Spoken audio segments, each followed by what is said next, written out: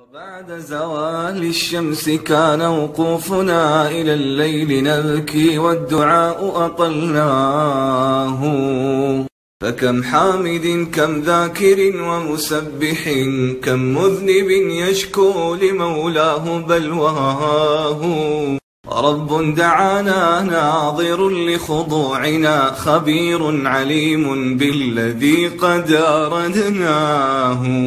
ولما رأى تلك الدموع التي جرت وطول خشوع مع خضوع أطلناه. تجلى علينا بالمتاب وبالرضا بها بنا الأملاك حين وقفنا.